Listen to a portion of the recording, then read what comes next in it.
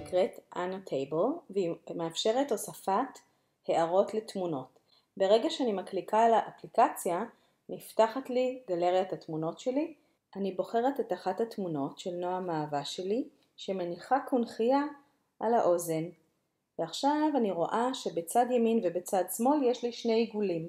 בצד שמאל, ברגע שאני מקליקה על העיגול הלבן, נפתחות לי אפשרויות רבות של אה, גוונים של צבע. אם אני אבחר למשל את הצבע הירוק, אני אראה שיש לי אפשרות לבחור גם בעובי מכחול, והאם יהיה לו קו מתאר לבן מתחת או לא. אם אני ארצה לצייר, אני אבחר לי את השרטוט ואני פשוט אוכל להוסיף תמונה, להוסיף ציור כמו שאני רוצה לתמונה שלי. ציור חופשי.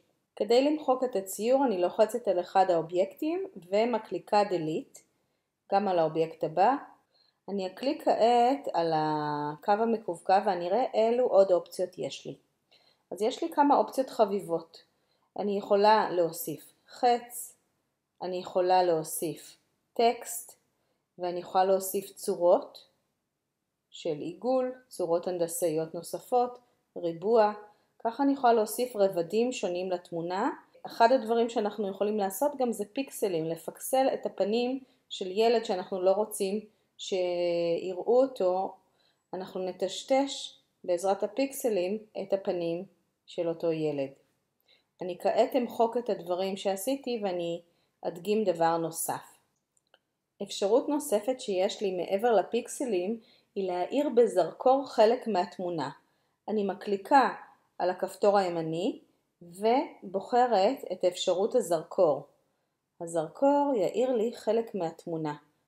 אפשרות נוספת מאוד יפה שיש לי באפליקציה הזו היא הדגשה של פרט בתמונה בעזרת זכוכית המגדלת. אני מקליקה על הכפתור הימני, בוחרת את זכוכית המגדלת ומציירת בעזרת האצבע איזשהו עיגול באזור מסוים שהוא, שאין בו הרבה פרטים בתמונה. נוצר לי עיגול, שהוא בעצם זכוכית המגדלת, ובמרכזו נקודה כחולה. אני מקליקה על הנקודה הכחולה ומושכת אותה לכיוון האזור שאני רוצה להוציא מתוך התמונה.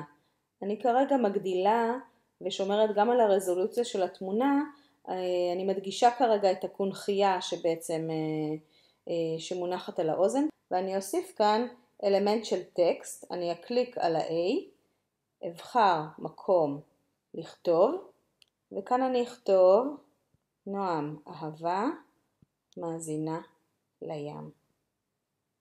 אני אוריד את המקלדת, אמקם את הטקסט, אולי אני אבחר להחליף לו צבע, להדגיש אותו בכחול, אני אוסיף חץ נוסף כדי להראות את הכיוון, והנה קיבלתי תמונה נהדרת עם רובד נוסף של מידע.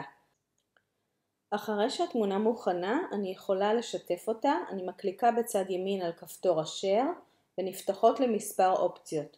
אני יכולה לשלוח את התמונה בהודעה, לשמור אותה ב-images שלי, מייל, פייסבוק, אני יכולה לפתוח אותה בכל אפליקציה שאני עובדת איתה, שהיא אפליקציה שיתופית, ו... אה, לשלוח את התמונה שרציתי. אז זו אפליקציה, ה-Notable, ואני מאוד אוהבת אותה וממליצה, היא פשוטה והיא יכולה לעשות יופי של שירות לכל מה ש... לכל... בכל פעם שאתם רוצים אה, להוסיף הערות לתמונה.